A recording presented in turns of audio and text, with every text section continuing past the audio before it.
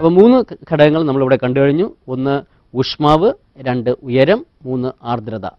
ഊഷ്മാവ് കൂടുമ്പോൾ മർദ്ദം കുറയുന്നു. ഉയരം കൂടുമ്പോൾ മർദ്ദം കുറയുന്നു. ആർദ്രത കൂടുമ്പോൾ മർദ്ദം കുറയുന്നു. മൂന്ന് സ്കോറാണ് മൂന്ന് പോയിന്റാണ് നിങ്ങളിവിടെ എഴുതേണ്ടത്. നമുക്ക് അടുത്ത ചോദ്യത്തിലേക്ക് വരാം. ആഗോള മർദ്ദ മേഖലകളെ അടിസ്ഥാനമാക്കി ചില പ്രസ്താവനകൾ ചുവടെ ചേർത്തിരിക്കുന്നു. അവയിൽ തെറ്റായവ കണ്ടെത്തി തിരുത്തി എഴുതുക. അവിടെ മൂന്ന് സ്റ്റേറ്റ്മെന്റുകളാണ് ഇവിടെ കൊടുത്തിട്ടുള്ളത്. ആദ്യത്തേത് ഭൂമധ്യരേഖ ന്യൂനമർദ്ദ മേഖലയ്ക്ക് കാരണം താപീയ ഘടകമാണ്. ബി ഉത്തര ദക്ഷിണ അർദ്ധഗോളങ്ങളിൽ അറുപത് ഡിഗ്രി അക്ഷാംശങ്ങൾക്ക് ഇരുവശങ്ങളിലായി ഉപധ്രുവീയ ഉച്ചമർദ്ദ മേഖലകൾ സ്ഥിതി ചെയ്യുന്നു. അടുത്ത സി ഭൂമിയുടെ ഭ്രമണഫലമായുള്ള ഗതീയ ഘടകമാണ് ധ്രുവീയ ഉച്ചമർദ്ദ മേഖലകൾക്ക് കാരണം. നമുക്ക് നോക്കാം ഇവിടെ തന്നിരിക്കുന്നതിൽ തെറ്റായവ കണ്ടെത്താനാണ് പറഞ്ഞിരിക്കുന്നത്. അപ്പം നമുക്കറിയാം ഭൂമധ്യരേഖാ പ്രദേശം. സൂര്യപ്രകാശം വർഷം മുഴുവനും ലംബമായി പതിക്കുന്ന പ്രദേശമാണ് ഭൂമധ്യരേഖാ പ്രദേശം. അതുകൊണ്ട് കൃത്യമായി തന്നെ നമുക്ക് പറയാൻ കഴിയും ഭൂമധ്യരേഖാ പ്രദേശത്ത് ന്യൂനമർദ്ദം സൃഷ്ടിക്കുന്നത് സൂര്യപ്രകാശം അല്ലെങ്കിൽ ഊഷ്മാവ് തന്നെയാണ്. അതുകൊണ്ട് തന്നെ താപീയ ഘടകം അല്ലെങ്കിൽ തെർമൽ ഫാക്ടറാണ് ഭൂമധ്യരേഖ ന്യൂനമർദ്ദയ്ക്ക് ന്യൂനമർദ്ദ മേഖലയ്ക്ക് കാരണം. അപ്പോൾ ആ പ്രസ്താവന ശരിയാണ്. പ്രസ്താവന ബിയിലേക്ക് വരാം. ഉത്തര ദക്ഷിണ അറുപത് ഡിഗ്രി അക്ഷാംശം. അപ്പം നമുക്കറിയാം പൂജ്യം ഡിഗ്രി എന്ന് പറയുന്നത് ഭൂമധ്യരേഖയാണ്. ഇത് ആ, ഇതാ ഇവിടെ ചിത്രത്തിൽ നോക്കാം. ഇവിടെ പൂജ്യം ഡിഗ്രി എന്ന് പറയുന്നത് ഭൂമധ്യരേഖാ പ്രദേശം അവിടെ ന്യൂനമർദ്ദമാണ്. അതിന്റെ ഇരുവശങ്ങളിലായി കാണുന്ന അർത്ഥമർദ്ദ മേഖല എന്ന് പറയുന്നത് മുപ്പത് ഡിഗ്രിയിലാണ്. മുപ്പത് ഡിഗ്രിയിൽ ഉപോഷ്ണ ഉച്ചമർദ്ദ മേഖലകളാണ്. മുപ്പത് ഡിഗ്രിക്ക് അപ്പുറം എന്ന് പറയുന്നത് അറുപത് ഡിഗ്രിയാണ്. അറുപത് ഡിഗ്രി എന്ന് പറയുന്നത് ഉപദ്രുവീയ നിമിനമർദ്ദ മേഖലകളാണ്. ധ്രുവപ്രദേശത്തോട് ചേർന്ന് കിടക്കുന്ന ഉപദ്രുവ മേഖല ഉപദ്രുവീയ മേഖല. അവിടെ ന്യൂനമർദ്ദ മേഖല അല്ലെങ്കിൽ ലോ പ്രഷറാണ് ഇവിടെ ചോദ്യം പറഞ്ഞിരിക്കുന്നത് ഉത്തര ദക്ഷിണ അർദ്ധഗോളങ്ങൾ അറുപത് ഡിഗ്രി അക്ഷാംശ രേഖകൾക്ക് ഇരുപുറങ്ങളിലായി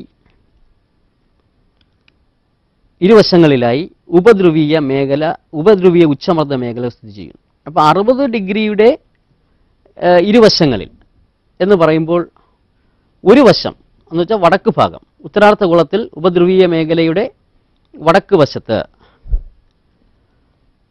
കാണുന്നത് ധ്രുവീയ ഉച്ചമർദ്ദ മേഖലയാണ്.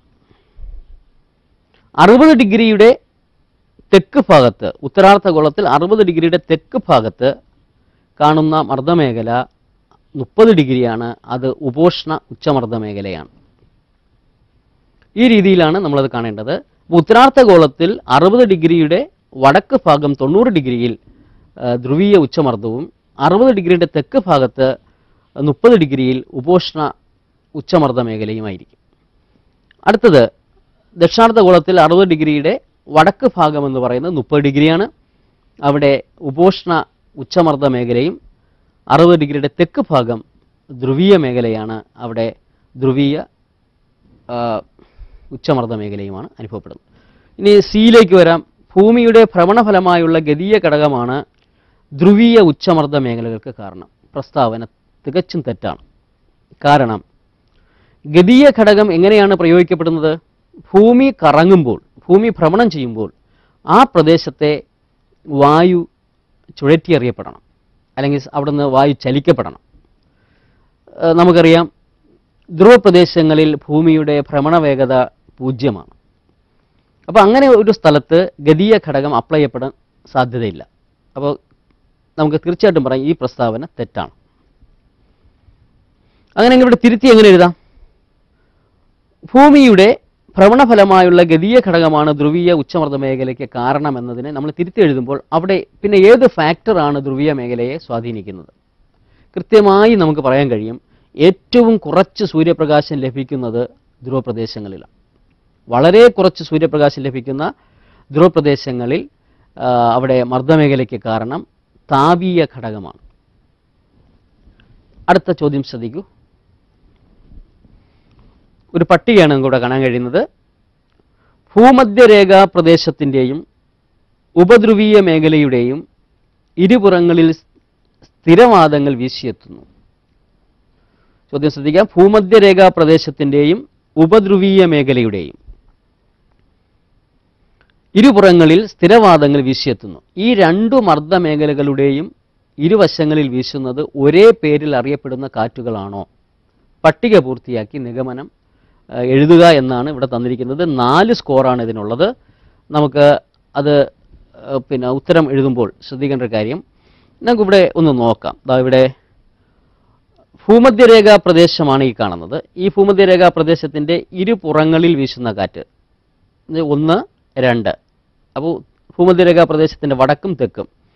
നമുക്കറിയാൻ കഴിയുന്ന ഇവിടെ വീശുന്നത് വാണിജ്യവാദം അല്ലെങ്കിൽ ട്രേഡ് വിൻഡാണ്. ഇവിടെയും വീശുന്നത് വാണിജ്യവാദം അഥവാ ട്രേഡ് വിൻഡാണ് അപ്പോൾ ഇതിൽ നിന്ന് ഒരു കാര്യം നമുക്ക് ബോധ്യപ്പെട്ടു.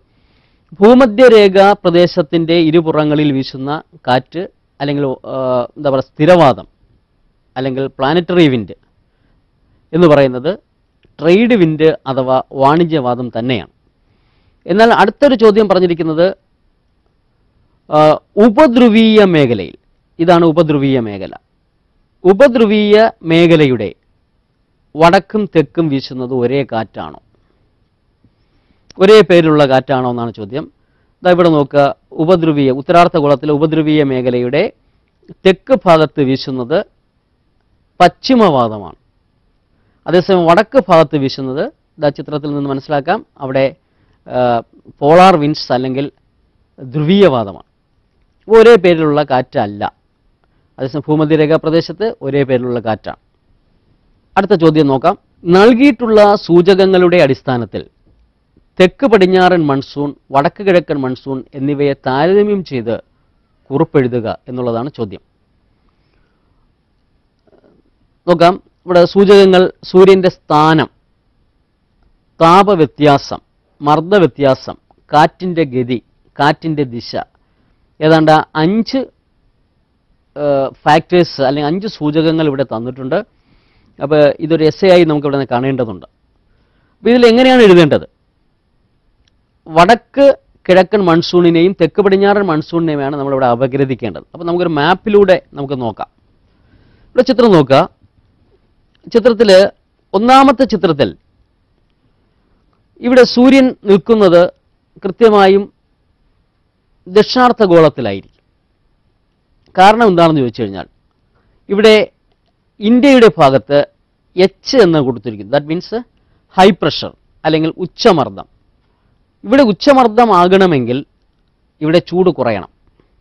ഇവിടെ ചൂട് കുറയണമെങ്കിൽ സൂര്യന്റെ സ്ഥാനം ദക്ഷിണാർത്ഥ ഗോളത്തിലായിരിക്കും. അപ്പോൾ എന്ന് പറഞ്ഞാൽ അത് വിന്റർ സീസൺ സൂര്യൻ ദക്ഷിണായന കാലത്തായിരിക്കുന്ന സന്ദർഭത്തിലാണ്. അല്ലെങ്കിൽ ദക്ഷിണായന എന്താ പറയുക ഭൂമധ്യ രേഖയ്ക്ക് തെക്ക് ഭാഗത്ത് നിൽക്കുന്ന സന്ദർഭത്തിലാണ് ഇവിടെ നമുക്ക് സൂര്യപ്രകാശം ചരിഞ്ഞു ലഭിക്കുകയും ഇവിടെ ചൂട് കുറയുകയും മർദ്ദം കൂടുകയും ചെയ്യുന്നതിന് കാരണമാകുന്നത്.